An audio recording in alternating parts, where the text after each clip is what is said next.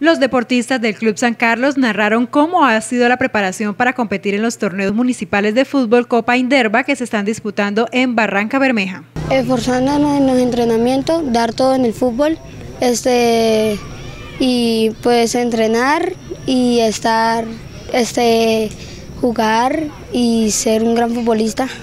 Pues asistiendo a los entrenamientos, dándole dura al entrenamiento, eh, esforzarse más eh, dar de, lo nuestro al entrenamiento como a los partidos para salir adelante. Esforzándome más, siendo responsable con los entrenamientos, llegando temprano y ahí vamos porque este siempre hemos estado en las finales, ya este, ya este, ya este año hemos estado en dos finales, así que queremos ganarnos este campeonato.